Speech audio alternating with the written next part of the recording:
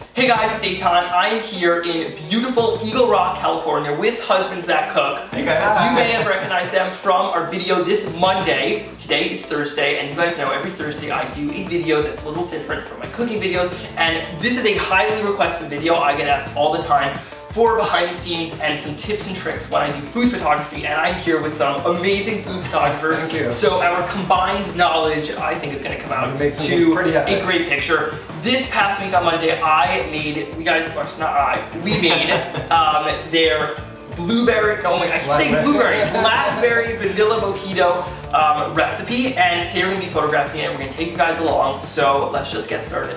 Okay, so what we have going on over here is, right over here is, um, we're gonna call it the dummy food, Yes, um, or stand-in food, Mm-hmm. because this is what we actually made in the video. It's kind of getting all wilted now, the ice is melting, um, and what this allows us to do is we have the same size of everything in colors, so we're able to get the lighting correct, the compose, uh, the composure correct, um, and then once everything's perfect, you just swap in a brand new one, um, and then it looks super fresh. You get the picture as well. It's at like the optimal time.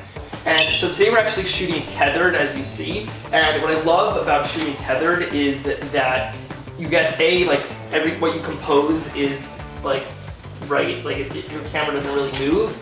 And we're actually gonna be sending all the pictures to my computer and we can edit them as we're shooting. So here, if you guys want to just come here so you can see kind of Yeah, how it's composed. And this is your tripod, so if you want to move it around Okay, to what great. you think will look good. And while you two work on this, um, I'm just gonna show you guys what I have going on here. So when you're taking pictures um, just for yourself, for your Instagram, if you're not like a food blogger, you definitely don't need this whole setup. But if you wanna step it up and you have a DSLR and you have a computer, um, what I'm using right here is Lightroom and it's connected now to our computer. And if you watch this, I'm actually able, check this out, automatically takes the picture. That's so cool.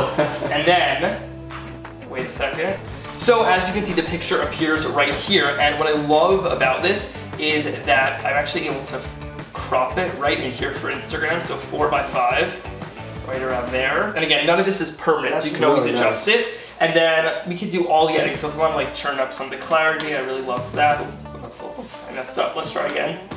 We can turn up the clarity. We can, you can look, you can mess up with the exposure, uh, but we don't want it to be super bright like that. uh, we can boost up the vibrance, and it really kind of gives you a really nice idea of what your final shot's gonna be. And then we can play around different textures and then see really what looks good already here. And it makes editing so much easier. Like my editing now takes like less than 20 minutes because I just pick my favorite picture. I love it. It's already done, make Okay. slight adjustments, maybe in Photoshop if I need to take something out. Um, and yeah, so do you guys want to talk about what you're doing with the framing? Yeah, so it looks like here, as you can see there, we have um, a little bit of burlap underneath, um, and so we have that texture there. What do you think about, should we pull out or do you like that, that tight framing like that? um, I think we can pull out a little bit, and I really love how the blackberries are leading into the drink. I think we Mhm. could get some more in the frame. The light, the way it's hitting it is really pretty right now. Yeah. I'd say we could bring in some more of that, so that way your eye kind of gets drawn in from the blackberries into the drink. So Sounds good. yeah, we'll put in some more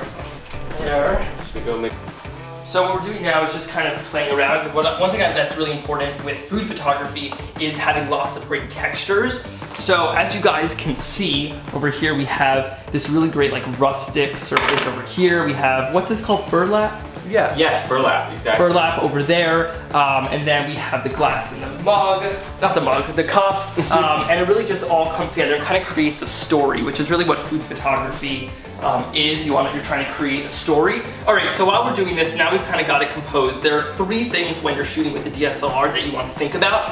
Um, now that we have it styled, we kind of already know what we're gonna, the look we're going for. So the first thing is the depth of field, which is the f-stop. So the smaller the f-stop, the actual, the bigger the opening in the camera is, so it lets in more light. And what that's gonna do is give us a shallower depth of field. So for this, I'd assume we're probably gonna wanna make sure that the whole glass is in focus, because like, I think one thing a lot of photographers, I don't know if you guys experience this, um, like I, I definitely know for me in the beginning, once I got a DSLR, every single picture I did, like I made like nothing in focus. If Right. you go on my blog, like at the beginning, like some of my pictures, like you couldn't see anything. I just was obsessed with like Just getting- like the front rim Yes, of the glass and exactly. that's it. Yeah. Um, so I think that's one easy thing to like get stuck in um, when you're shooting on a DSLR for the first time. So you definitely want to make sure you use an f-stop. Right now we're shooting about um, 5.6, Okay. which should get in everything there. Um, and then since we're shooting on a tripod today, we can use really as slow of a shutter speed, which is how fast it takes a picture. Right. So if you're shooting handheld,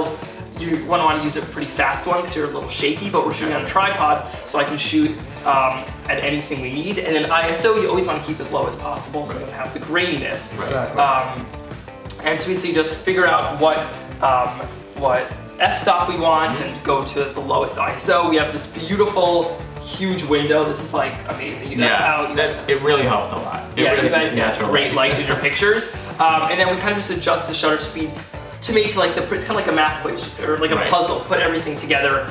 Um, and yeah, so let's just keep styling, making little adjustments, and that's really how you do it to get the perfect picture. So let's keep adjusting. Let's do it.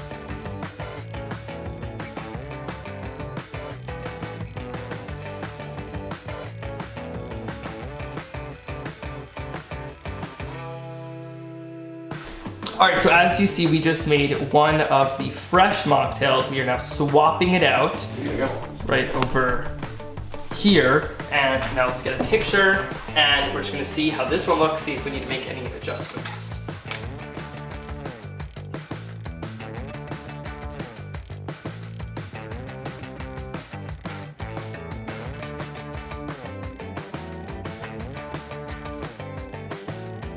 So I would say we got the picture here, right over here on the screen now. You guys can see this beautiful picture we got. Uh, if you guys want to make this recipe, the video is up on my YouTube channel. It'll be in the end card and in the links down below. And yeah, this was super cool. If you have any questions about food photography, feel free to reach out to me or Adam and Ryan at Husbands That Cook on Instagram. And yeah, and if you want to make this, like I said, the video is linked below. This was super fun. Thank So you guys yes. for Fun. teaching me for us. everything about you know about food photography. Definitely gonna take some of these tips uh, with me home when I do more food photography. And thank you guys so much for watching. This Thank was you. super fun. If you liked the video, be sure to hit that like button and subscribe for tons of more awesome videos. And yeah, this is super fun. All right, we're now gonna go finish these pictures, edit them, and then get ready to post on Instagram when this video comes out.